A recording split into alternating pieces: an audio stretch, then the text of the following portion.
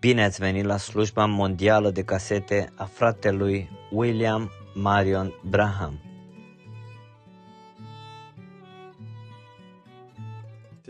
Astăzi este 16 septembrie 2023.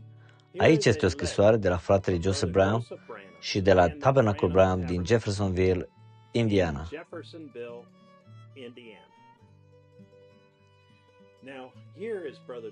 Acum, aici este fratele Joseph Brown. Dragi aleși, Domnul nostru Isus ne iubește atât de mult încât a dorit să ne trimită un profet în zilele noastre. Unul în care El a avut încredere 100%. Unul în care să vină și să trăiască pentru a se putea descoperi pe sine însuși prin acea carne umană pentru a-și chema mireasa lui.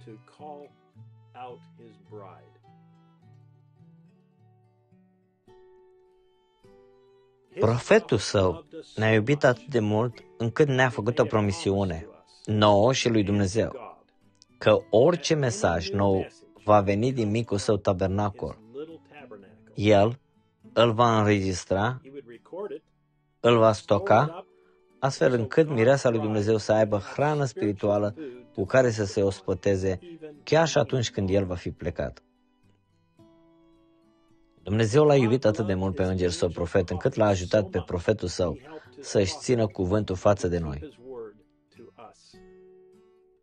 După ce Dumnezeu a vorbit prin îngerul său puternic și ne-a descoperit și interpretat complet întreaga Biblie,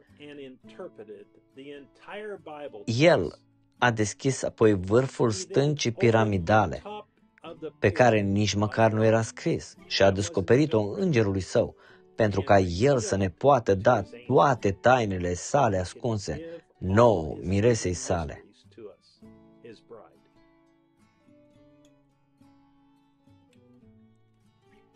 Dumnezeu i-a dat chiar o viziune fratelui Robertson, în care a văzut stâlpul de foc ridicându-și profetul și ducându-l în vest.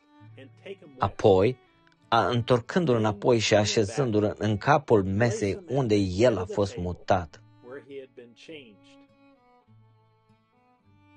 Duhul Sfânt a vorbit apoi și a spus, Acesta este slujitorul meu și l-am chemat să fie un profet al epocii, să conducă poporul așa cum a făcut Moise. I s-a dat autoritatea de a vorbi în existență. Care a fost chemarea lui Moise? Ce trebuia să facă el? Dumnezeu îi poruncise lui Moise să conducă poporul spre țara promisă. Dar s-au ridicat niște oameni care au decis să intervină în însărcinarea pe care Dumnezeu i-a dăduse lui Moise, spunând, îți asumi prea multe. Încerci să te faci singurul din grup care are un cuvânt de spus.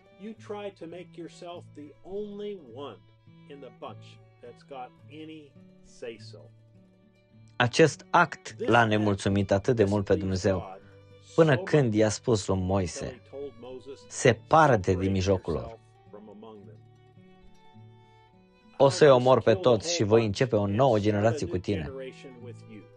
Și Moise s-a proșternut în prezența lui Dumnezeu și a spus că va trebui să vină peste el.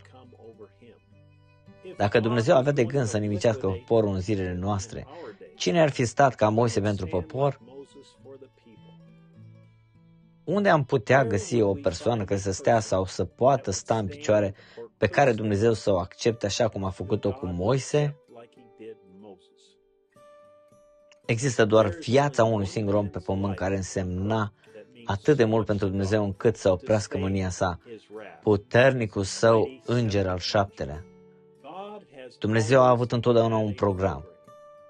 Mireasa sa va recunoaște acest program și va rămâne cu el, cuvânt cu cuvânt. Ei știu că trebuie să rămână cu acea voce pe care Dumnezeu a ales-o să-i conducă pentru a ajunge în țara făgăduinței. Dumnezeu a vorbit prin profetul său și a dat destul timp pentru a merge într-o direcție diferită, așa cum a făcut Noe în arcă cu porumbelul și corbul.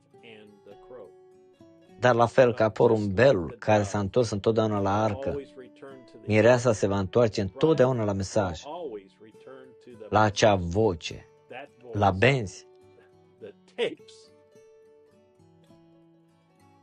Cine a fost profetul din ziua noastră? Au existat profeți puternici înainte, pe care Dumnezeu a chemat și i-a trimis să conducă poporul său de-a lungul epocilor. Avram, Moise, Ilie, Elisei, dar niciunul dintre ei nu a fost ca puternicul profet al zilelor noastre. El a fost chemat la o lucrare mult mai înaltă decât toți aceștia. El a fost cel pe care Dumnezeu l-a ales pentru a-i descoperi toate tainele sale. El a fost cel pe care Dumnezeu l-a ales pentru a aduce la existență ceva din nimic. El a fost cel ales pentru a descoperi cea de-a treia tragere. El a fost cel pe care Dumnezeu l-a ales să conducă mireasa sa. Ce popor binecuvântat suntem noi! Mireasa aleasă de Dumnezeu. Cum putem fi abătuți? Cum putem fi triști? Satana încearcă să ne descurajeze, dar noi avem victoria. Suntem pecetluiți înăuntru, în siguranță, în arcă. Ușile sunt închise. Nimic nu ne poate face rău. Noi suntem Adamul său restaurat. El vine după noi, mireasa sa aleasă. Vor fi unii dintre noi care nu vor trebui să simtă gustul morții, ci vor fi schimbați într-o clipă, într-o clipeală de ochi. Glorie! La fel ca fiecare dintre voi, sunt atât de entuziasmat pe măsură ce în fiecare zi cuvântul său, descoperirea pe care El mi-a dat-o, devine din ce în ce mai mare.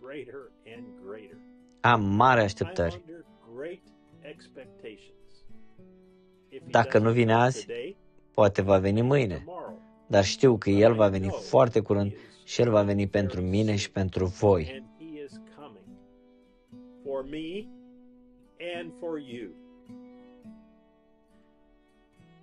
Veniți alături de noi duminică la 12 după amiază ora locală în Jeffersonville, ora 19 în România, când vom asculta hrana care a fost depozitată într-un loc mic, în timp ce privim și auzim, stând în spărtură, 63, liniuță 0623 M. Vom începe mesajul la paragraful numărul 27. Fratele Joseph Brown.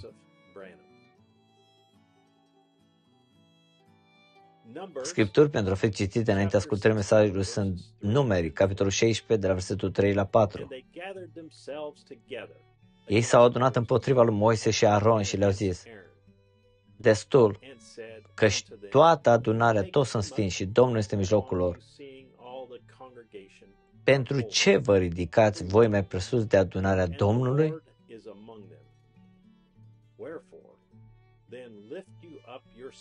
Când a auzit Moise lucrul acesta, a căzut cu fața la pământ.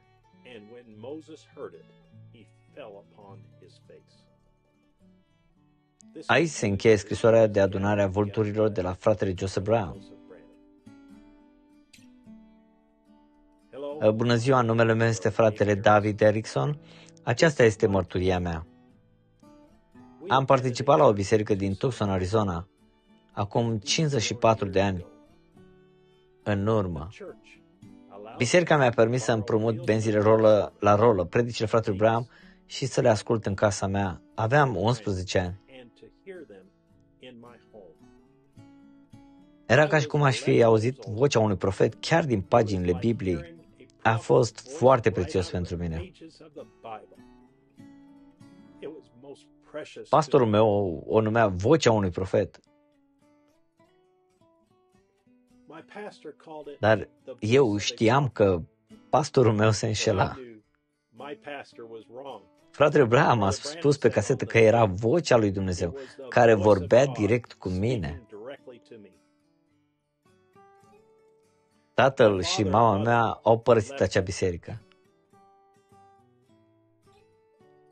Am spus asta pentru a spune acest lucru când noile tablete Agapao cu acest prețios cuvânt revelat vor ajunge în regiunea voastră, în limba voastră. Acceptați darul pe care Dumnezeu vi l-a trimis.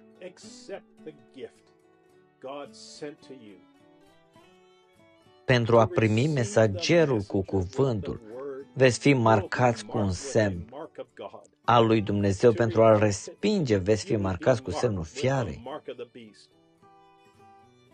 Așa că vă rog, frate sau sora mea, nu respingeți cuvântul pur și nealterat.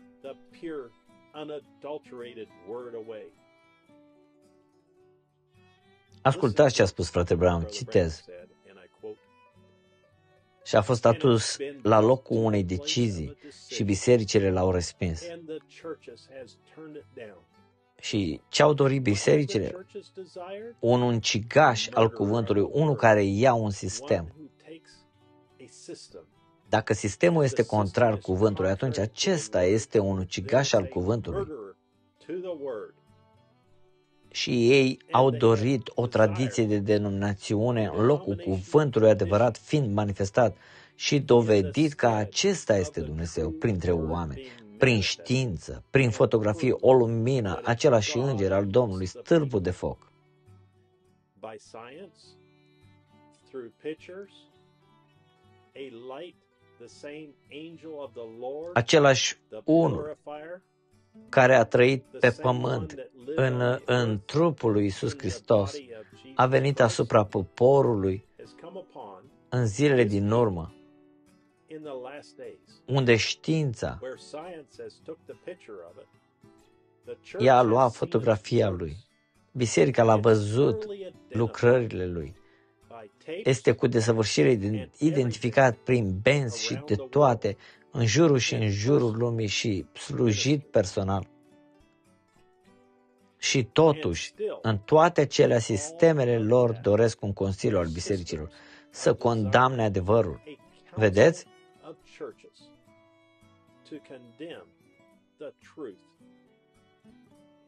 Dorind un ucigaș care va închide sau opri sau va închide afară. Și aceasta o va face. Ei vor opri un astfel de lucru și Consiliul Bisericii vor trebui să o facă. Acolo este semnul fiarei, anticristul, împotriva cuvântului care este Hristos, dar nu a lor credință. Ei cred că este tradiție. Ei gândesc că tradițiile lor sunt de la Dumnezeu. Vedeți? Dar aceasta nu va sta sus cu cuvântul și nici Dumnezeu nu adeverește de a fi corectă.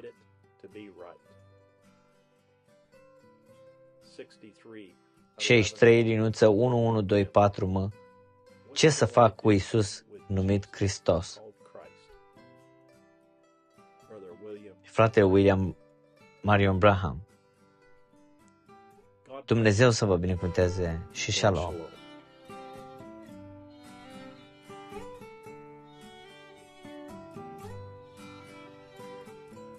www.brahamtabernacle.org www.svfellowship.info